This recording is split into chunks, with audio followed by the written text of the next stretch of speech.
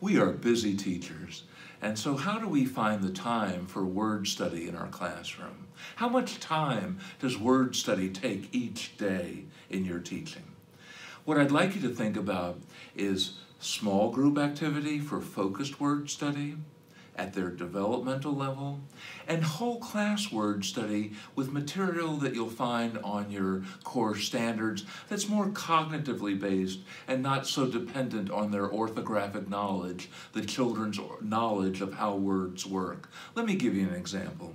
In Ms. Bruscotter's classroom, one of my favorite teachers, she's a fifth grade teacher, and she has quite a range of students. Some students are still working on short vowels, another group working on long vowels, vowels, and then two groups working on how two syllable words work. And when you watch her teaching, she has a small group focused on those uh, developmental groups. For example, she has a lot of Spanish speakers who need to learn about S-blends, and you'll see her working on S-blends. And then at the upper level, she's working with students who are looking at open and closed syllables.